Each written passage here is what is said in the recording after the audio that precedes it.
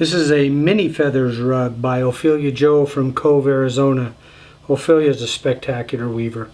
Uh, feathers in the Navajo culture are generally uh, associated with prayer. You know, oftentimes you'll see the Navajo, when they really want to get a message uh, across, they'll build a smudge fire, which is really smoky, and then they'll sit in front of it and they'll wave their feathers through and, and ask the blessings and the offerings because feathers help take the the message up to the sky as does the smoke so they're sure that it'll get there.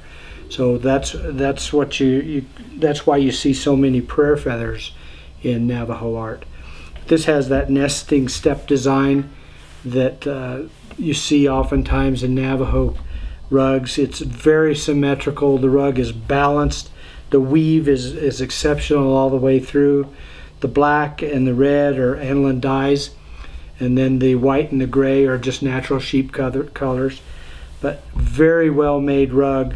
Um, this this type of a rug uh, when it was woven it's angora wool. So after when it's woven it's very very hard because the long fibers of the angora make for a stronger rug.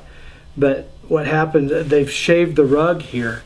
After it's done they go through and they shave the rug and it cleans it up. It really makes a beautiful, beautiful piece. So just those little hair clippers, they'll go through and shave that. And it comes out in one of the most beautifully well finished rugs that you'll see. Uh, this is an exceptional example of a Navajo rug.